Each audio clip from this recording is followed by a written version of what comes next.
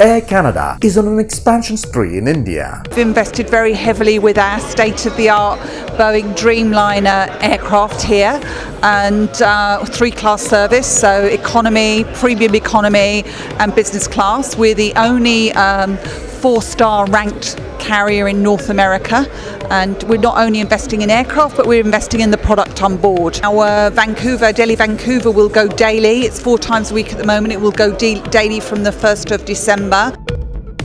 South African Tourism has appointed Hanneli Slabber as Regional General Manager Asia, Australasia and Middle East. We are obviously interested in geographical spread in South Africa. We work for all South Africans, not just for the South Africans in the metro. But it's more than that. It's incredibly pretty on those small cities. You know, it's got an exquisite beauty to it. 60,000 product, we've got over 3,000 adventure product. So we've got enough for people to do.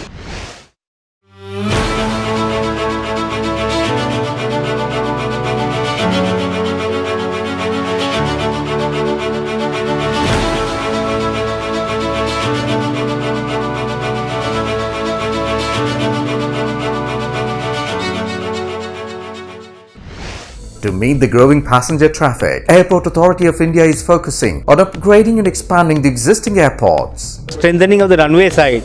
Either we are extending the runway to allow bigger plane, planes to come or we are doing parallel taxi tracks to reduce the runway occupancy time, allow more movements per hour and we are also adding to the terminal building capacity by building new terminals. A whole lot of projects we are taking up. Guwahati to be coming up, Chennai we are almost doubling the terminal building capacity.